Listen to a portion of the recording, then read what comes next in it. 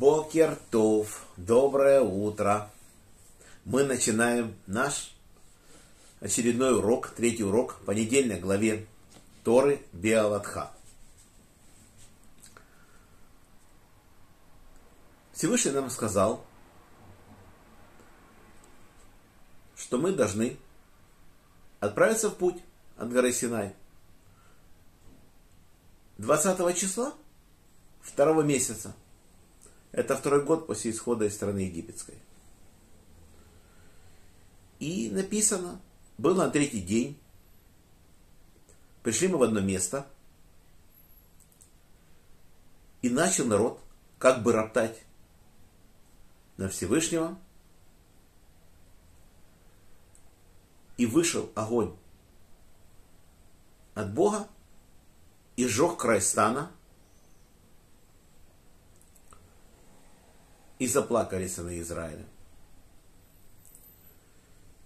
И требуем мяса, требуем пищи. Мы ведь в Египте ели огурцы и дыни, и рыбу даром. Кто накормит нас мясом?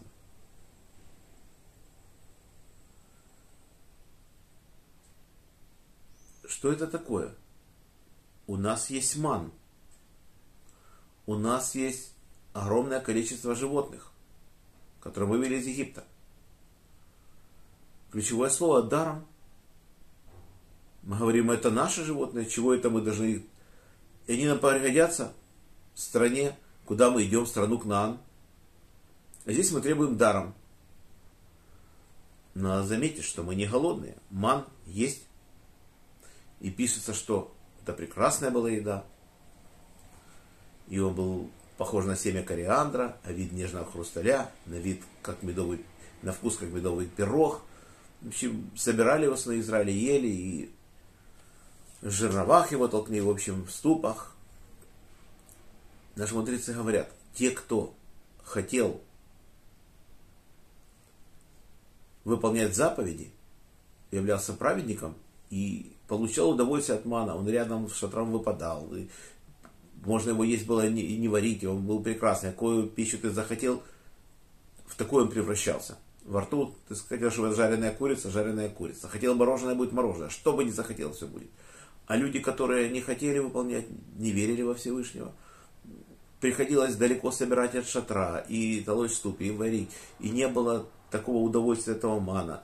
Действительно требовали, но у нас есть деньги, Всевышний нас вывел, мы опустошили Египет, у нас есть средства, чтобы если тебе не хочется свой скот рвать, покупай, рядом живут другие народы, покупай у них.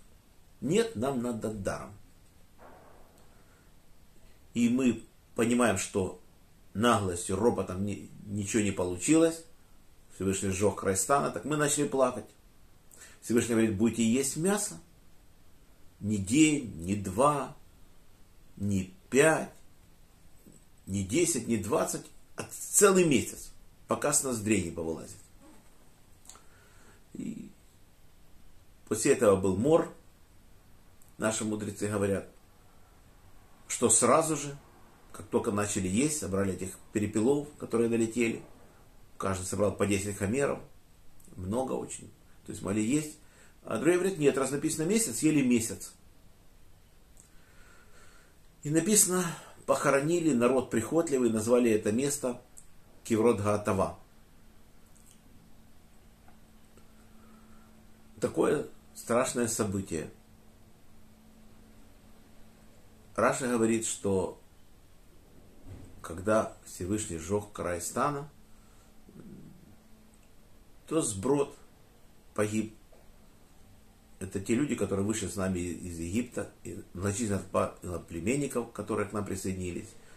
А царь Давид в 78-м псалме нам говорит, что в лучших в Израиле поверх, после этих событий Тавера, нас же превратилась рода тому, и после этого мы действительно не находим имена вождей в Торе. Последний раз они названы здесь главе Белатха, даже Нахшон сына Менадава, не Никто из этих вождей не упоминается. Ни Авидан, сын Гидани, никто. Ни Хезерес, сын Абишадая, никого.